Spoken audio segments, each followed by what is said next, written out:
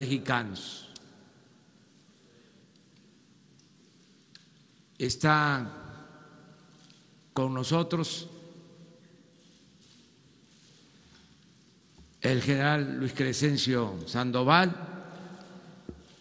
secretario de la Defensa, también el almirante José Rafael Ojeda, secretario de Marina, la secretaria de Gobernación, la licenciada Olga Sánchez Cordero, el secretario de Seguridad Pública, Alfonso Durazo, se invitó también a quien está encargado de la Fiscalía General, Alejandro Hertz Manero. Ya realizamos la reunión correspondiente al día de hoy. Es el inicio de este proceso de seguimiento que estoy encabezando personalmente. Es tan importante el garantizar la paz, la tranquilidad en el país, que no voy a delegar esta responsabilidad. La voy a atender de manera directa. Luego de la reunión, como ahora, aunque en esta ocasión se nos hizo tarde, vamos a procurar que puntualmente a las siete de la mañana podamos hablar con ustedes, informarles, para que a través de ustedes los mexicanos tengan información de lo que acontece en nuestro país. Se va a garantizar el derecho a la información. No vamos a tratar solo temas de seguridad, vamos a tratar todos los asuntos que tienen que ver con la buena marcha de la cosa pública, de la República. Hemos iniciado el gobierno sin problemas desde el sábado. Hemos estado trabajando. Ustedes presenciaron los actos del sábado. Ayer estuvimos en el campo Marte, se llevó a cabo la ceremonia donde el ejército, la marina, la Fuerza Aérea expresaron, manifestaron, como siempre, su lealtad a la patria, su lealtad al pueblo, su lealtad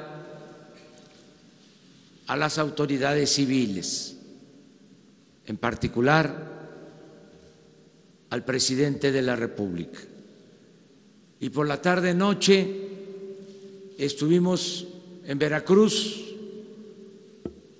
en la Plaza Lerdo, en Jalapa, con el gobernador Huitláhuac García para informar sobre las acciones que llevaremos a cabo de manera conjunta el gobierno de Veracruz y el gobierno federal para mejorar las condiciones de vida y de trabajo del pueblo veracruzano.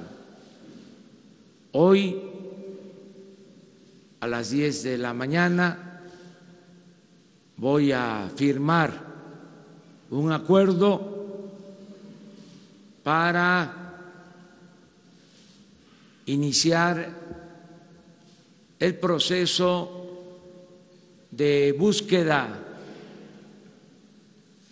y de justicia en el caso de los jóvenes desaparecidos de Ayotzinapa, como fue un compromiso que hicimos durante la campaña. Están ustedes invitados a ese acto y van a conocer las características de esta comisión del gobierno para dar todas las facilidades y que se conozca la verdad y se informe y se castigue a los responsables, autores materiales e intelectuales. Desde luego, con respeto a la autonomía del Poder Judicial y también con respeto a la Fiscalía General, que será la instancia encargada de crear la Comisión de la Verdad. Tenemos durante el día otras actividades, estamos preparando, elaborando el presupuesto para el año próximo. Tenemos que presentar a la Cámara de Diputados el presupuesto antes del día 15.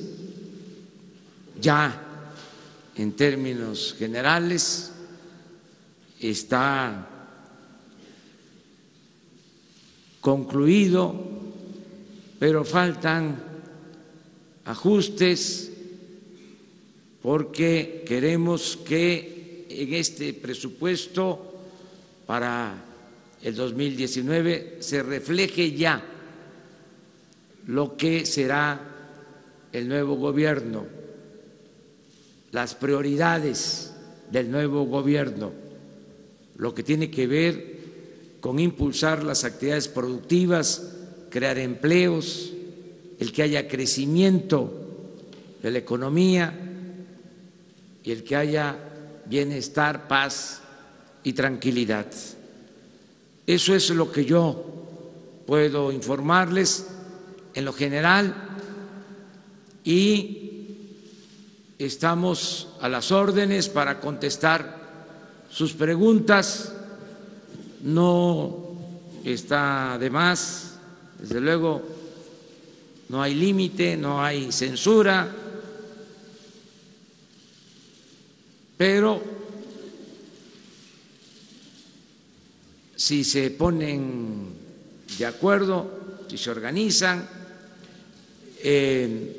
podemos eh, desahogar la conferencia diaria con menos tiempo.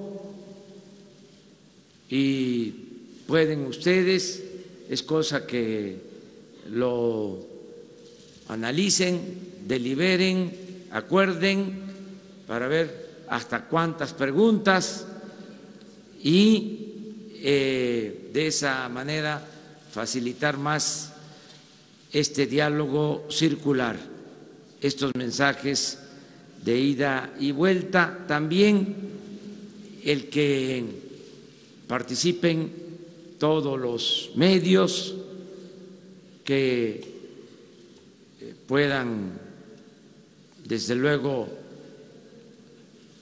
hacer preguntas.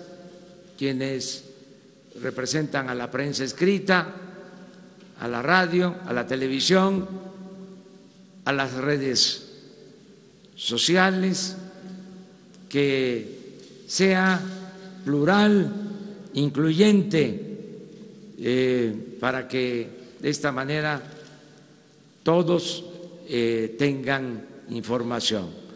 Y ya va a ser a consideración de ustedes si esta información eh, la transmiten Estoy seguro que sí, porque esa es la función principal de los medios. Por eso son medios, instrumentos para que el pueblo esté informado.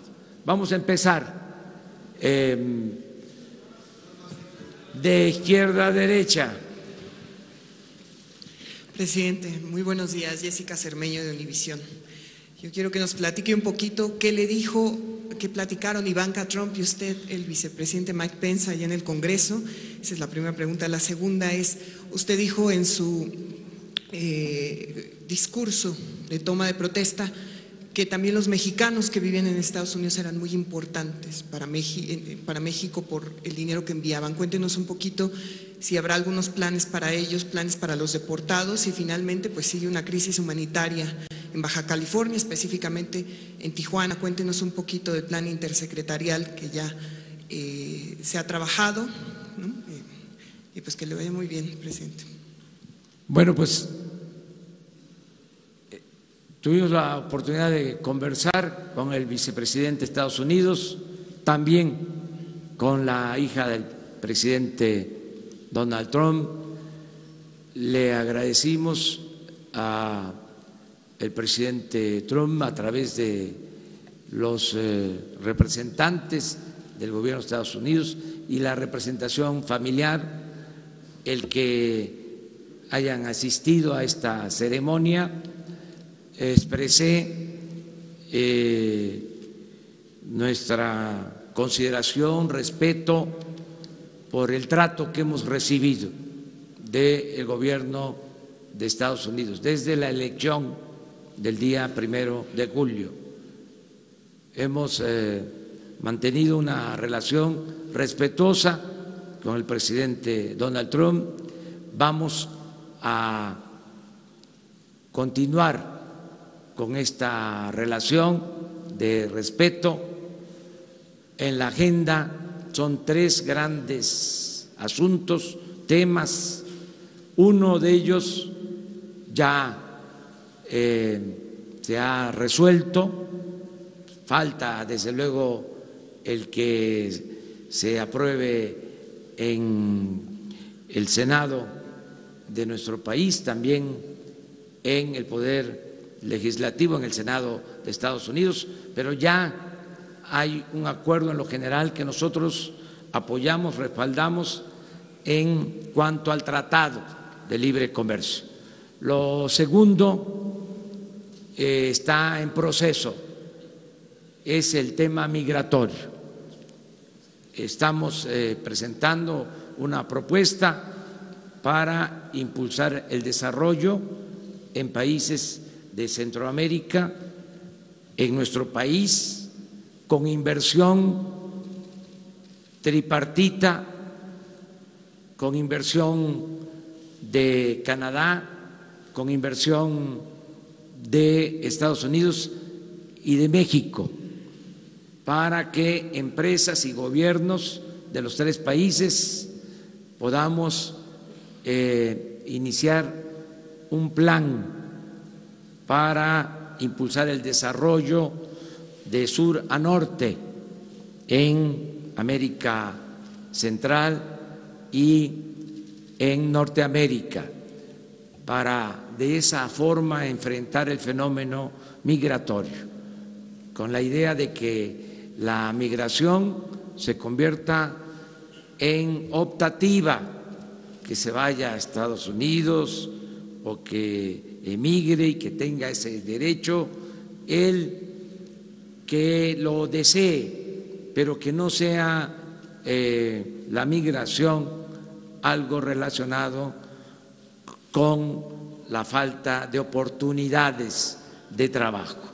Entonces, ese es un tema. Yo espero que pronto tengamos ya una respuesta. Estoy planteando la firma de un compromiso entre los tres países para este plan de inversión y resolver así, con trabajo y bienestar, el fenómeno migratorio. Y lo tercero de la agenda tiene que ver con la seguridad. y el narcotráfico. Ese tema todavía no se aborda. Nosotros ya definimos nuestra estrategia en materia de seguridad en el país. Vamos a darle atención especial a los delitos que afectan a los mexicanos. Es decir, vamos a reducir la incidencia delictiva en homicidios, en robos a casa, habitación, en robo a transporte, robo de vehículo. Vamos a garantizar que no haya secuestros, todo lo que afecta a los mexicanos. Esa es nuestra prioridad en materia de seguridad. Eh, vamos a seguir manteniendo, insisto, una buena relación con el gobierno de Estados Unidos. Buenos días, Sirven Pineda de Televisión Azteca. Oiga, una preguntota, ¿cómo va este tema que tiene que ver con la cancelación del aeropuerto? Y es que los responsables de la obra ayer pues insistieron en que van a continuar eh, con esta obra o por lo menos hasta que hayan las negociaciones para cancelar. Me gustaría ver cómo, cómo va ese asunto y si en los siguientes días usted va a recorrer los pinos porque pues ya se le está quitando lo embrujado ahora que ya lo abrieron el pasado sábado.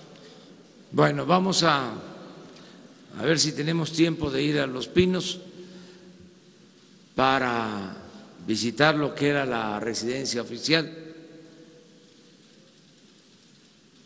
Sí creo yo que ya se hicieron las ceremonias eh, correspondientes, las limpias. ¿Quién limpia? ¿Quién purifica? El pueblo, si ya se abrieron las puertas para que la gente visite los pinos, ya se purificó eh, la residencia oficial, ahora convertida en un espacio para la recreación, las artes, la cultura. En un inicio se decidió abrir las puertas, así se encontró, así se recibió. Y luego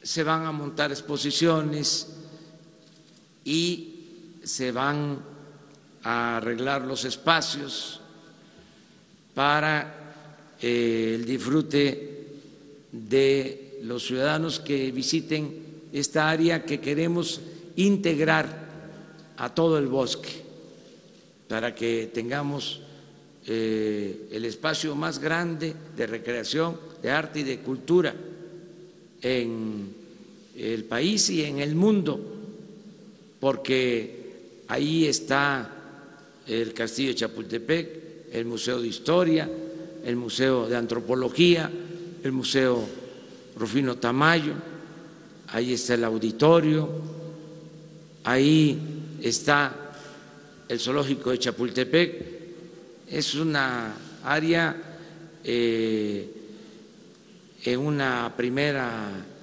eh, sección de más de 600 hectáreas. Entonces, el propósito es integrar todo ese espacio para que el que entre ahí, eh, desde la mañana pueda estar todo el día eh, visitando museos, espacios, bosque y salga en la tarde eh, va a ser un centro para la recreación, para el arte, para la cultura, eh, con las puertas abiertas a todos los mexicanos. Acerca del aeropuerto, la Secretaría de Hacienda está atendiendo este asunto. Hoy tengo un acuerdo con el secretario de Hacienda a las cuatro de la tarde. Ya mañana yo les informo sobre este tema para que se conozca todo lo relacionado con el proceso del aeropuerto. Eh, es un fideicomiso, eh, es un proceso que se tiene que llevar a cabo. Yo lo que reitero es que están garantizadas las inversiones de los accionistas y que también se está llegando a acuerdos con las empresas constructoras. Eso es lo único que puedo decirles.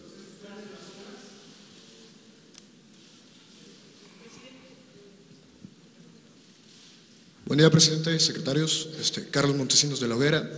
Preguntarle, usted había dicho que estas reuniones se harían en base a información recabada de los estados en tema de seguridad y coordinada con las autoridades locales saber cómo fue este primer día de ejercicios con los gobernadores, con las fiscalías estatales, qué información llegó, si todos participaron, qué nos podría decir al respecto. Tengo la información que eh, se integraron los eh, comités estatales en 28 estados, 29 estados, y hoy se instalan eh, dos más y se está llegando a acuerdo con los gobernadores.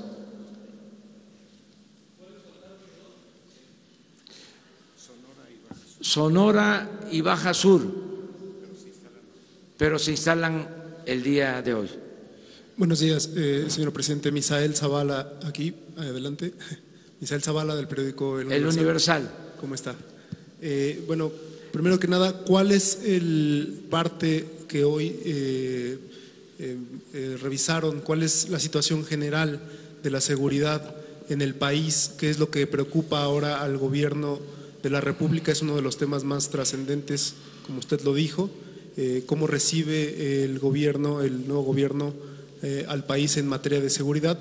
Y también eh, preguntarle acerca, eh, en esta estrategia de, seguridad para pacificar al país que presentaron hace unos días, eh, viene un tema importante para desarmar a los líderes o a los integrantes de los cárteles o de la delincuencia organizada. Se ha habido ya acercamientos por parte de líderes de la delincuencia organizada, del narcotráfico o capos de la droga con el nuevo gobierno para un posible desarme.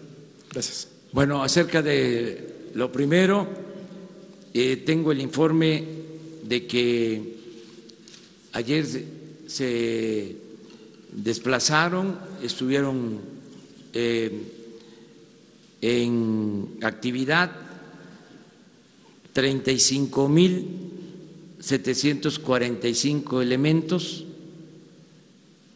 de la Policía Militar, de la Policía Naval, de la Policía Federal en 150 coordinaciones del país. Y se están fortaleciendo eh, estas, eh, estos agrupamientos con el apoyo de policías estatales, municipales, que voluntariamente por decisión de las autoridades locales, se están también integrando a estas coordinaciones. Estamos eh, empezando a revisar la incidencia delictiva. El propósito es tener una fuente confiable para eh, poder saber el comportamiento de delitos cometidos en el país en las últimas 24 horas. El informe va a tener esa característica, poderles decir cuántos homicidios diarios, cuántos robos de vehículos, denuncias de secuestro, robos a casa habitación, robo a transporte, en fin, todos los delitos cometidos. estamos haciendo una evaluación de la fuente que se tiene de eh, informes sobre estos delitos para que sea confiable mm, y que podamos entregarles eh, información de calidad sobre lo que va a ir sucediendo diariamente.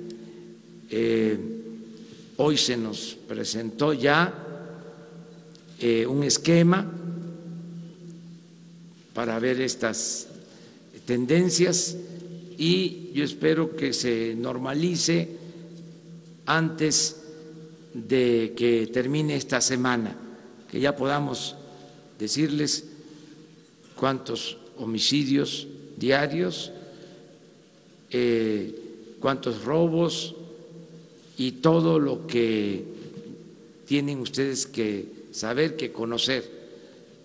Insisto que la conferencia no va a ser solo con ese propósito, pero eh, la información va a estar disponible siempre, todos los días se les va a entregar esa información. Acerca de acuerdos con la delincuencia, eh, nosotros no vamos a establecer ningún tipo de acuerdo eh, ilegal tenemos muy claro que tiene que haber una línea divisoria, una frontera entre autoridad y delincuencia. Cuando ya no hay esa frontera, ya no existe la autoridad. Y vamos a procurar que se respete a la autoridad. Sara.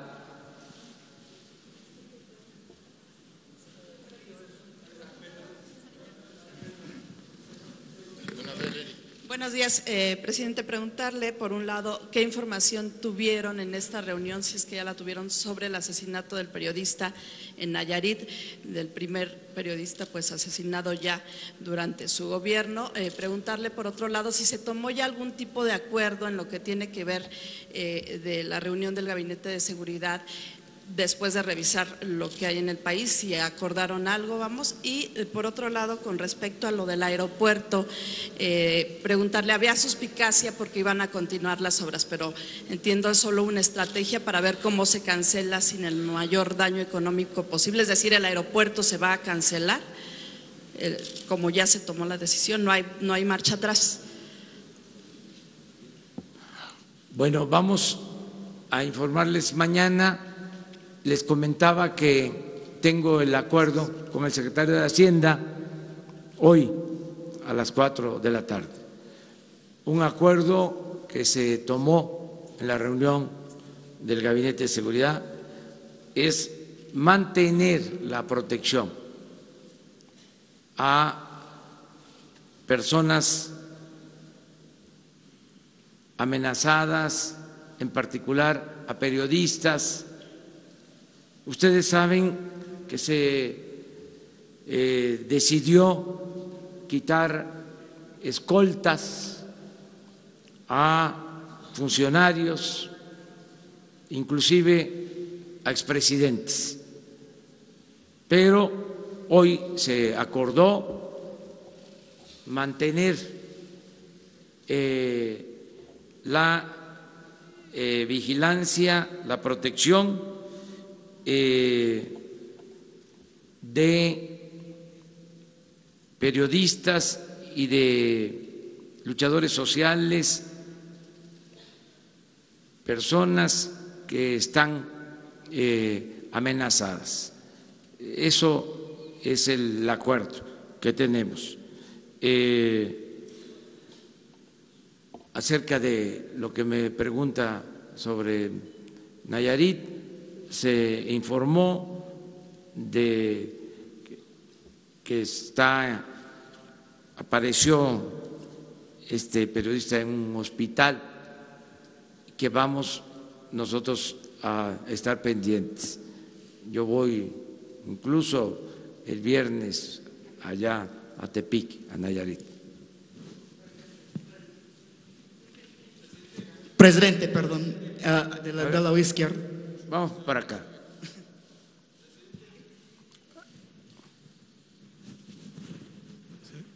Señor presidente, sí. Gabriel Coronado de San Diego Red. Específicamente en Tijuana hay más de 7 mil migrantes y hay una gran crisis local y en el estado de Baja California en el tema migrante ya no se dan abasto. ¿Qué se va a hacer respecto concretamente con ese tema? Bueno, también se trató la reunión de hoy. Eh, tiende esta situación a normalizarse en la atención que se les está prestando de parte del gobierno, auxilios en atención médica, en alimentación, hay cocinas del ejército, de la Secretaría de Marina, de la Secretaría de Seguridad, eh, la Secretaría de Gobernación está atendiendo este eh, asunto. Eh, tenemos ya el reporte del número de migrantes. La eh, licenciada Olga Sánchez les va a informar una vez que terminemos esta conferencia sobre un registro que se está realizando para saber con exactitud el número eh, y tener los datos eh, básicos para seguir prestando nuestro apoyo, nuestro auxilio. Pero sí se está atendiendo eh, este tema. Uno más de este lado. Buenos días, presidente. Guillermo Cruz, de Quinto Poder. Eh, dos cosas. Preguntarle, eh, la, base de datos del Secretariado Ejecutivo continuaría eh, para, para, esta cuestión de la contabilización de los delitos? Y segundo, ayer en esta interlocución que tiene que ver con la, con la oposición, el PAN subió un video en el que ya no solo lo vinculan con, con Hugo Chávez, con Nicolás Maduro, sino con Stalin, con Hitler. ¿Qué, ¿Qué diría respecto a esta actitud que toma la oposición? ahora ya como presidente constitucional de, los Estados Unidos mexicanos. No está bien eso, este, que empiecen a hacer oposición. Eso está bien, es un buen ejercicio. Este, llevan tiempo sin ser oposición desde que se fundó ese partido. Eh, no eran oposición y sobre todo a partir del 88 se convirtió en un partido del régimen. Entonces, qué bien que ahora estén retomando sus orígenes como partido opositor y siempre van a tener nuestro respeto y no va a haber censura.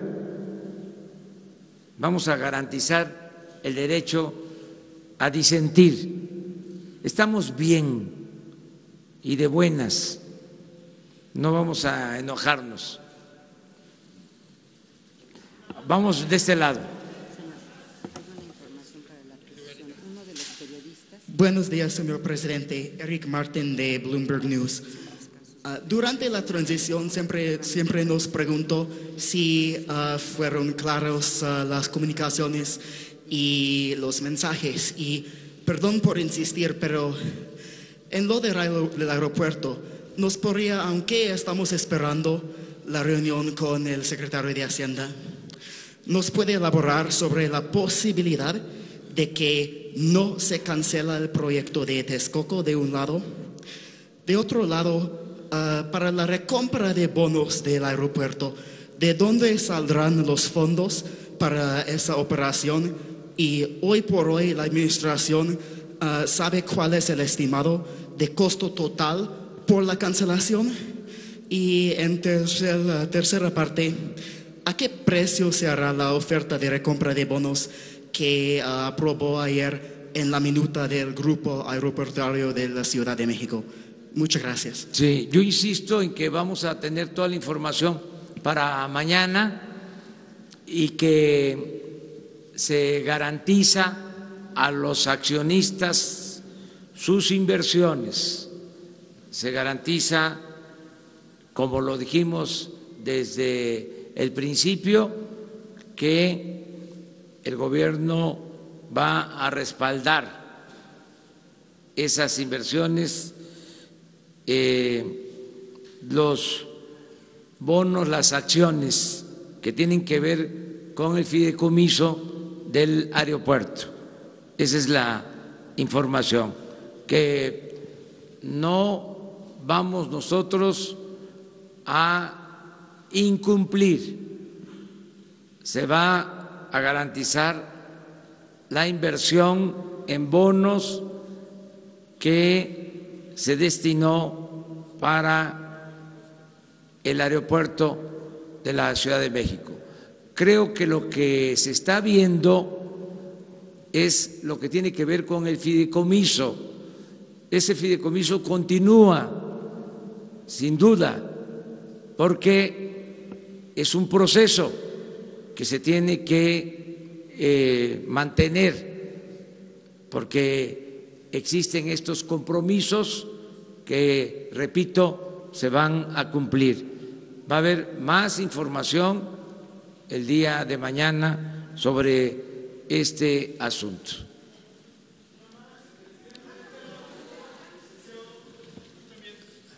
Me gustaría. A ver, nada más. Soy Agustín Velasco de Uno TV. Sí, te conozco muy bien porque estuviste como muchos otros cubriendo toda la gira. Pero nada más quería decir que si les parece, él y uno más. A ver. Licenciado, yo quisiera... Ah, eso quiere decir que aceptaron, ¿verdad? Yo, yo quisiera insistirle, eh, porque el tema de la seguridad fue uno de los asuntos que usted más mencionó durante la campaña por la presidencia de la República. Llegó a mencionar que había 66 homicidios diarios en el país y me gustaría que fuera claro en cuántos homicidios se registraron el primero y el 2 de diciembre, es decir, cómo inició su administración en este sentido. Y una segunda eh, situación, eh, del primero de diciembre a hoy, que han pasado eh, prácticamente dos días y cachito, usted dijo que recibía un país en quiebra, luego dijo que 80% del petróleo todavía era de la nación y finalmente dice que empiezan bien, sin problemas el gobierno. ¿Cuál es la realidad en la que recibe el gobierno, si nos lo podría mencionar, e insistir en el tema de los 66 homicidios diarios y esta media se mantuvo en estos dos últimos días? Gracias. Se redujo el número de homicidios. De acuerdo al informe eh, que tenemos, aunque aclaro se está verificando la fuente, eh, el promedio es 50 homicidios en los dos días, eh, 50 homicidios diarios, sábado, domingo. Ese es el informe en lo general, con la aclaración de que estamos verificando las fuentes. Eh, ¿Cómo empezamos? Bien, tengo las riendas del poder en las manos.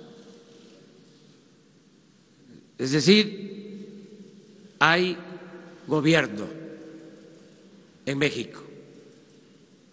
Y es un gobierno para darle seguridad y protección a los mexicanos, para que se mantenga la esperanza, que la expectativa que hay de cambios se va a convertir en realidad.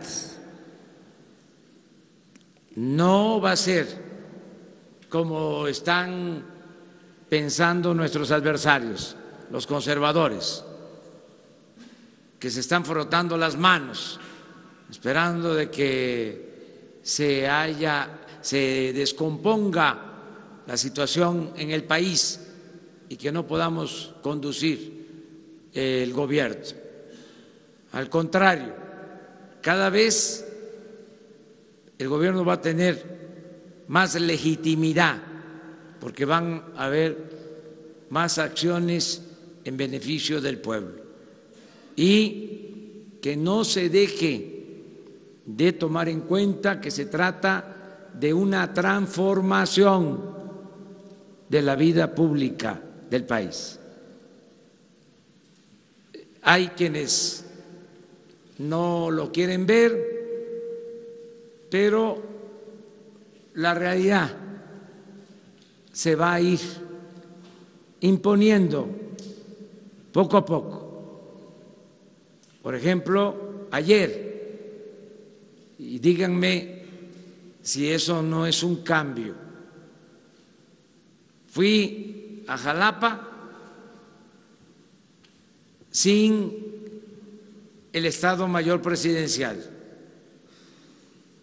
en avión de línea, en avión comercial. Y regresé igual. Al mismo tiempo que ustedes pudieron tener información de que el avión presidencial hoy parte a Estados Unidos porque se va a vender como fue un compromiso. Le estoy hablando de un pequeño asunto para todo lo que va a significar la transformación de México.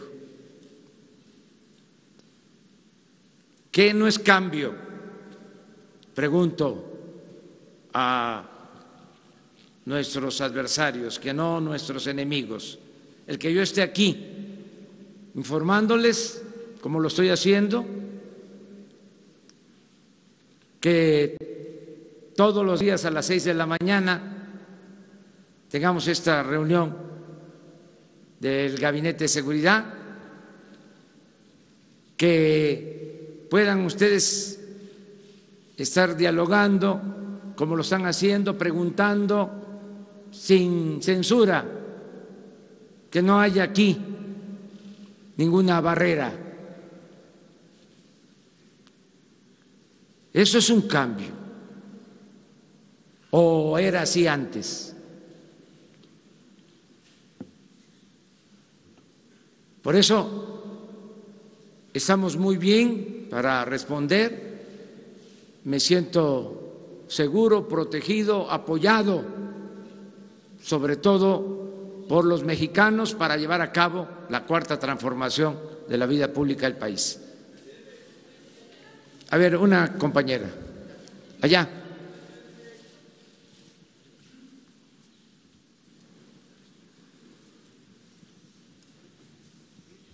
Buenos días, Michelle Mejía de Multimedios. Perdón eh, que le insista, solamente que este sí me gustaría que nos compartiera sobre el nuevo aeropuerto. Entonces, está cancelado hoy. A la gente podemos eh, ver que va a estar trabajando, va a trabajar en estos terrenos de Texcoco. Entonces, estos eh, bonos no significa que se vaya, sea a lo mejor una estrategia para, digamos, que reabrir este proyecto. Gracias es mantener el fideicomiso, según entiendo, para respaldar los bonos, para que el gobierno cumpla, y esa es nuestra palabra,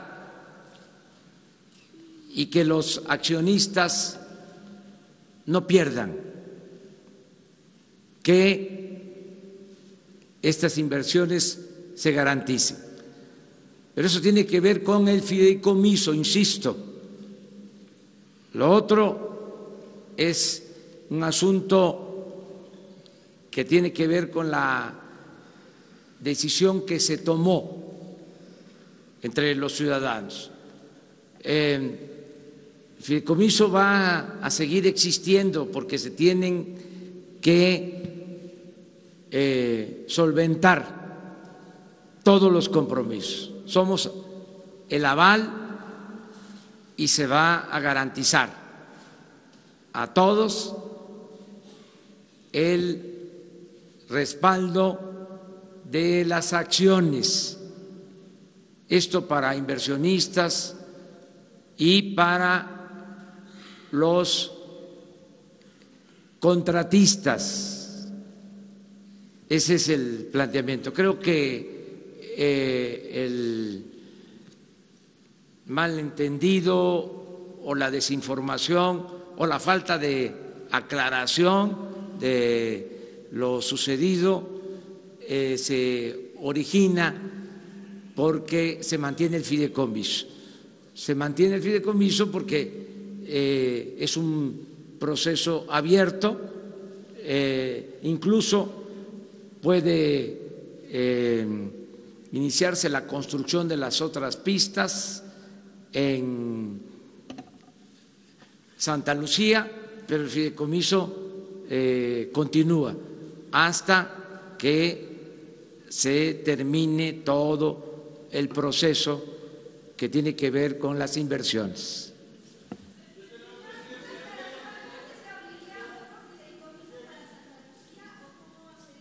No sabemos, eso ya mañana ya yo tendría más información del secretario de Hacienda, les tengo confianza, son los encargados de Hacienda, muy buenos eh, servidores públicos, buenos economistas, muy buenos técnicos, ellos saben lo que tiene que hacerse en este caso. Antonio López del diario La Razón. Oiga, presidente, ya en un par de horas van a estar firmando este decreto por el que se crea la Comisión de la Verdad. Eh, preguntarle ayer Felipe de la Cruz, vocero de los normalistas, comentó que en esta reunión que van a tener a las 10 de la mañana, ellos van a dejar claro que, le, que están solicitando cuatro líneas de investigación, entre ellas que se detengan a dos policías federales que estuvieron involucrados presuntamente en el caso y que se continúe con, bueno, que se investigue al ejército. Usted eh, en campaña dijo que el que nada debe, nada teme. Eh, preguntarle si sigue abierta esta invitación al ejército para que se abra la investigación. Miren, este se va a firmar este acuerdo, decreto para abrir la investigación. El gobierno va a cooperar, no se va a ocultar la verdad no vamos nosotros a encubrir a nadie. El presidente de México no va a ser cómplice, lo dije el sábado, de violaciones de derechos humanos y se va a investigar. Eh, ya conocen cuál es mi postura acerca de los señalamientos eh, sobre la posible intervención del ejército, creo que la investigación tiene que eh, incluir a todo el gobierno, a todas las personas involucradas y eh, considero que en el supuesto, y eso tiene que ser parte de la investigación, que elementos del ejército estuviesen involucrados, en vez de debilitarse esta institución tan importante para la vida pública del país, se fortalecería. Si se hace un deslinde pero no nos adelantemos, porque para eso es la investigación. Eh, hicimos ese compromiso y eh, vamos a cumplirlo, pero tenemos que llevar a cabo todo un procedimiento. No es, a ver, eh, que se eh, detenga